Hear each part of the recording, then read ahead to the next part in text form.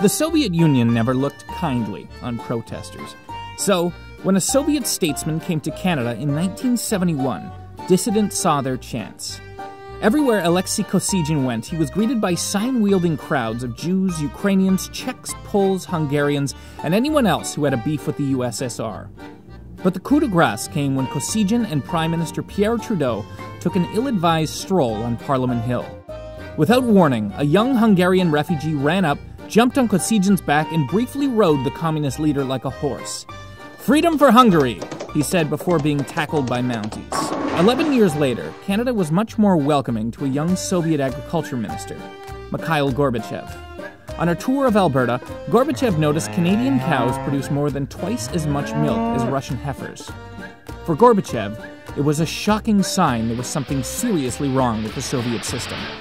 He went back to Russia, became general secretary, and implemented a suite of dramatic reforms.